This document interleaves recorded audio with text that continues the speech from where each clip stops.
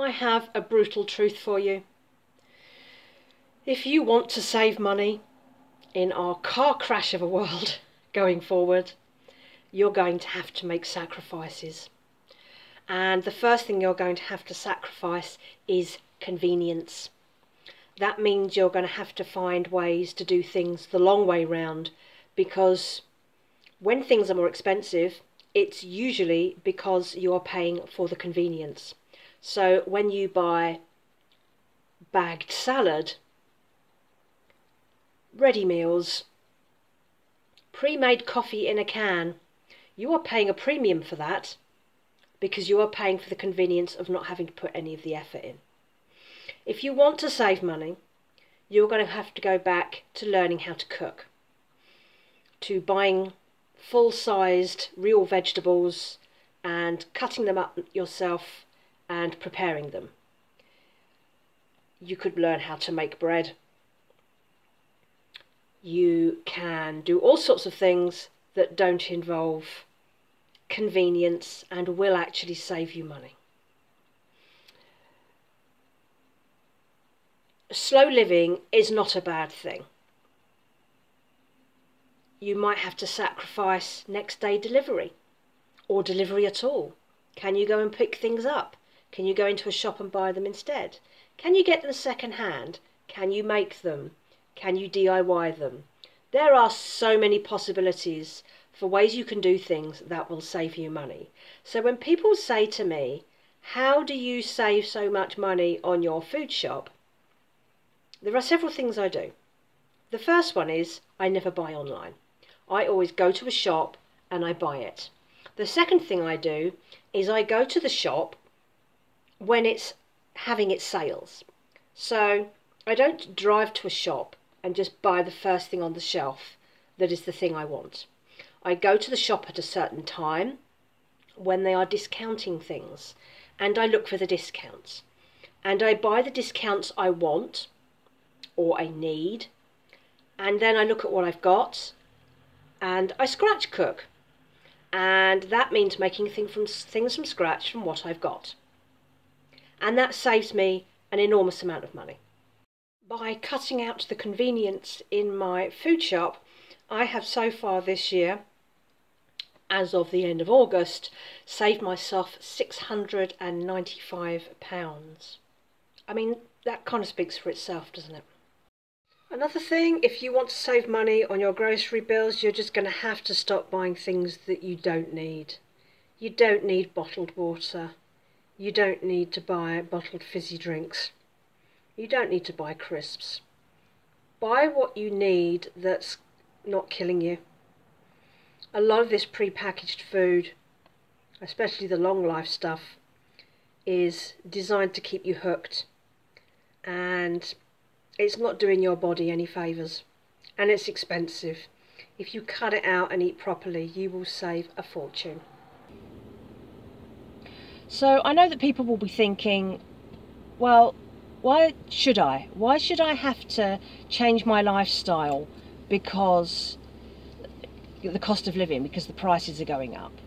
And that's fine if you can afford it. If your income is outpacing your spending and you're happy to spend your money on those things, go for it. But if it's putting you into debt, why would you continue to allow companies to take your money unnecessarily?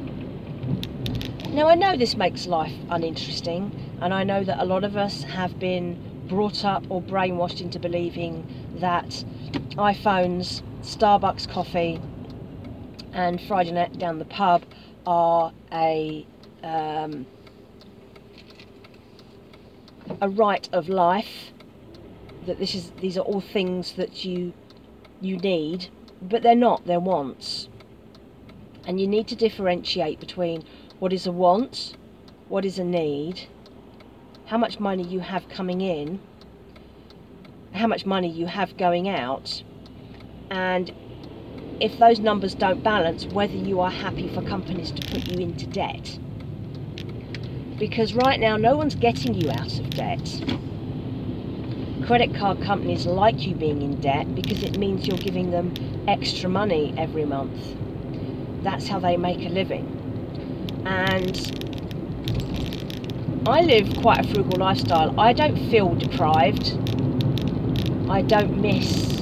I mean, I haven't had a takeaway in years, but I don't miss that stuff because I realise that it's it's it's all a rip-off. It's designed to keep you hooked. It's designed to keep you addicted so that you find it impossible to let go of. I've recently been ditching sugar as much as I can, and I've noticed like a difference in me. I'm more alert, I have more energy, um, I'm less interested in snacking in between meals, and it's like my brain is rewiring. It's so weird. And you don't have to watch too many documentaries about the food industry to know that everything is designed to keep you hooked. And I don't want to give my money to companies that treat me like that, that treat me like a cash cow, and that I can, that my health can be used and abused for their profit margins. I just resent that. I really do. And that's one of the reasons that I've pushed back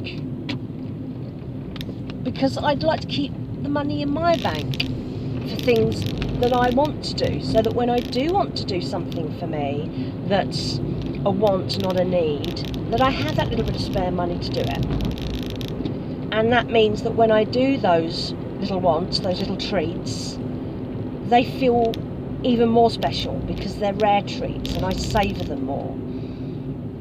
So you may well be angry at this post because, well, why should I give up X, Y, Z? If you don't want to, you don't. If you can afford to live your life the way you're living, and you can afford to eat the way you eat, and the habits that you have, and the lifestyle that you have, you carry on. You go for it. But if you can't, if you know that you can't afford to do those things, and you're still doing them because you don't know how to let go of it. Just do it gradually. Start with one thing. Remove it or reduce it. Give it time to become routine. Work on the next thing. Work on the next thing. That's how I did it. It took me years of doing little bits and pieces here, there, and everywhere and then before I knew it, I was leaving a more leading a more streamlined lifestyle that didn't feel so overwhelming because it wasn't really a challenge when I was just doing one small thing at a time. But you've got to want to do it, and, and you can't force someone to do something they don't want to do. So if you want to do it, do it. If you don't want to do it, don't do it. It's no skin of my nose. I'm just offering you advice that you might want to take up. And it may well be that you've been thinking like this for a long time as well. And it feels overwhelming, and you know you need to cut back on X, Y, or Z. You know you need to change your lifestyle to a certain degree, but you just don't know where to start. Start with one thing. Start small. Start with something that's manageable and then you start to realize that it is doable. You just need to push back against big greedy corporations, against a system that really wants you to stay indebted to them.